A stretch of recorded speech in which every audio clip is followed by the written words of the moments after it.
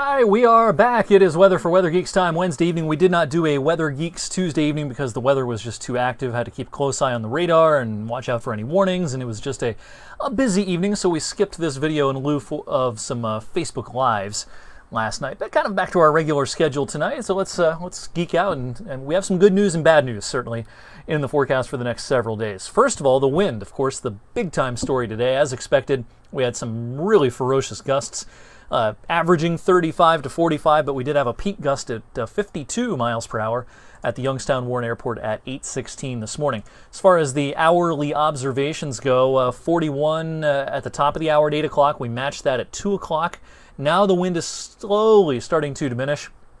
This process will continue as we go through the night. Uh, 24 during the 7 o'clock hour at the Youngstown Warren Airport, closer to 40 in Pittsburgh, and gusting over 30 in Cleveland. Again, our wind gusts and sustained speeds will diminish tonight. Now, the wind is not going to go completely calm, so it's still going to be brisk late tonight into tomorrow morning. And with temperatures down in the 20s, that means we've got uh, we've got to talk about some wind chills later on.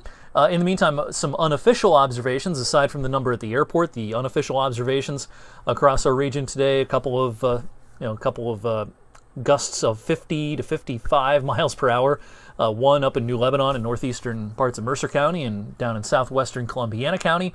Hanoverton uh, at about 51 miles per hour. Also of interest over the last several hours, we've had some pretty decent snow showers across the region. I would even call some of these snow squalls with some uh, quick reductions in visibility, even local whiteout conditions. Now, this is not impacting road surfaces. None of this is really sticking to anything other than maybe some windshields and some random grassy surfaces, but certainly reductions in visibility have been noted over the last uh, several hours. In the meantime, of course, we had quite a bit of rain uh, the previous night and then into yesterday and in into, into parts of last night as well. Uh, so, a flood warning, no surprise, has been issued for Eagle Creek, southwestern Trumbull County. This is uh, an area that sees a lot of flood warnings over the course of a uh, of a year because uh, it doesn't take much for this to start overflowing a little bit. It's overflowing its banks, and uh, we're up to 10.66 feet at Phalanx Station. That's about a foot or so above flood stage, which begins at nine and a half feet. Uh, the flood warning will continue into tonight, and then we should see this start to recede. All right, so wind chills tomorrow morning as you get up to head off to work and school. Upper teens to around 20. This is a heck of a way to run April, um, but uh, this is the reality that we have to deal with tonight into tomorrow. Tomorrow afternoon will be better. It won't be as windy as today. It's Still going to be chilly though, with air temperatures in the lower 40s, wind chills in the lower 30s. Otherwise, our big picture for your Thursday uh, can't rule out a flurry first thing in the morning. Low end chances of precipitation shown here. Those will fade away, and I think we'll see a partly sunny sky on average. Also of note, tomorrow the sunrise is back before 7 o'clock. Of course, those sunrises jumped ahead an hour a few weeks ago when we had the uh, switch to daylight saving time. Now they're back before 7 o'clock and will stay that way for several months. Also, our sunsets are getting closer and closer to 8 p.m.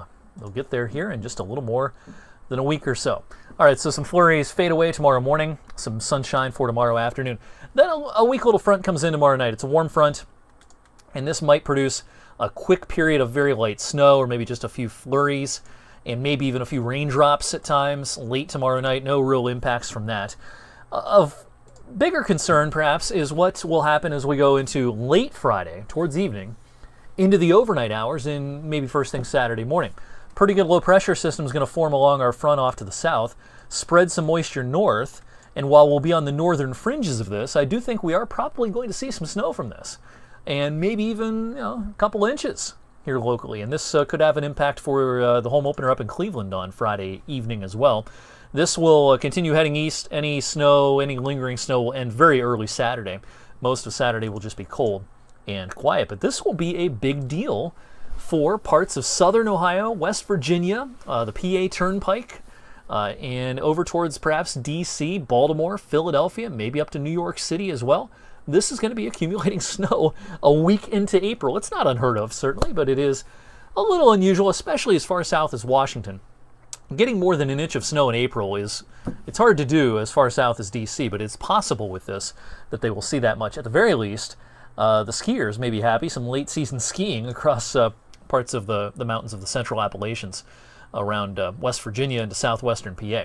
All right, home opener for the tribe on Friday. It's a 410 first pitch only uh, for opening day do we have kind of a weird start time like that. It's more of a football start time, really. But uh, the game's going to start probably with tranquil weather. It's going to be cold. It's going to be breezy, if not windy. Notice the winds out of the west 10 to 20. The problems may come later on with uh, some snow trying to push into Cleveland, as well as, of course, here in Youngstown. Uh, towards the second half of the game, you know, after six, especially close to seven, increasing chances for some snow. So this will be touch and go. A lot of scenarios at play here. One of the scenarios is they start on time, they get five and a half innings in, it's official game, and then they'll have to call it at some point. Another scenario is that it's a quick game, not a lot of offense, and they are able to squeeze this thing in before the snow becomes a problem. And then, of course, the other uh, possibility will be they start, they don't get an official five and a half innings in before the snow becomes a problem, and uh, they end up having to delay it uh, until you know a later date or something like that. So that's you know it's a tricky forecast for the tribal opener on Friday. If you have plans to head up to Progressive Field, keep an eye on the latest forecasts because this is uh, still kind of in the tricky phase as far as getting the details of this right. Wanted to show you this. There's some good news in the longer range. 8 to 14 day outlook. Uh, so this would take us from the middle of next week through the following weekend, a rare orange blob in the eastern U.S. I think it's going to warm up.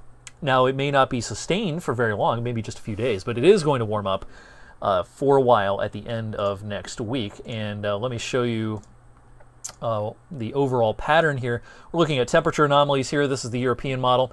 And here's our cold pattern. What else is new? Look at look at this plunge of Arctic air coming into the U.S. at the end of this week. I mean, those are deep purples in Montana and the Dakotas. I mean, those are temperatures 20 to 30 degrees below average uh, for April. And so, yeah, another surge of cold air. And, you know, we're going to be in the mid 30s on Saturday. That's it for highs. It's hard to be in the mid 30s with some sunshine in April. As strong as the sun is, the, the sun angle in the first week or two of April is basically the same as late August, early September.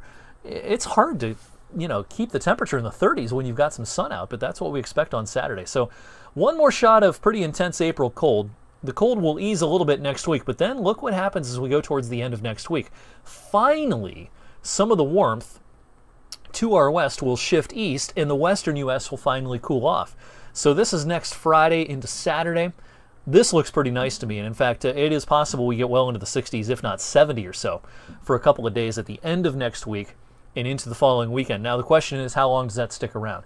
I don't think it sticks around long. This is still overall a chilly pattern. This is kind of a mirage, if you will. It's a little oasis of warmth because look what happens after this. It likely turns chilly by April standards again as we go towards the 17th, 18th, 19th. You know, it doesn't look as harshly cold as it, as the current pattern, but the kind of warmth that we're likely to see at the end of next weekend and next weekend is, you know, it's unlikely to stick around for very long. Before I leave you tonight, uh, wanted to recap the severe weather a little bit yesterday. It was a very active severe weather day.